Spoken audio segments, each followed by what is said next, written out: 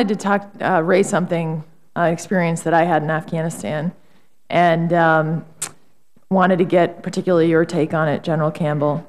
So I heard a lot from our special forces and Army guys on the ground about the A-10 for understandable reasons, because obviously I've been, uh, I've been pretty out there on the A-10. Um, and what I heard, for example, I had a special forces guy come up to me saying, you know, the night before, the A-10s really saved our butts because they were out with the Afghan national forces in the lead, and our special forces were with them, and this, the support that the A-10s uh, provided was critical in that, in that setting because it was a close contact setting.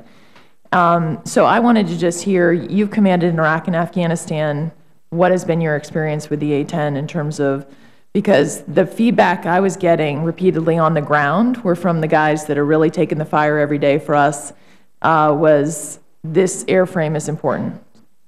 So uh, what was, what's been your experience with it? Yes, ma'am. I mean, commanded the 101st and RC East, where we had A-10 capability to come in and provide that close air support to our soldiers in very bad terrain.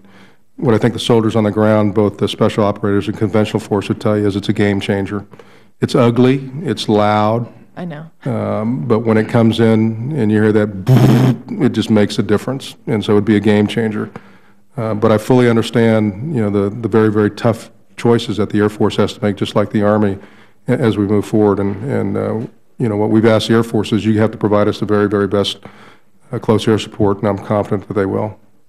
Yeah, I think we need to understand, though, that it's not going to be the same. And for our guys on the ground, they have a different opinion in terms of whether our other airframes can really provide the same, uh, the same kind of protection that they feel like they're getting from the A-10. So I thank you all, and I wanted to ask your experience there, because I just wanted to share with everyone what I heard from just the guys on the ground. And I I wasn't even asking about it. For some reason, they knew I was involved in this issue. So, thanks.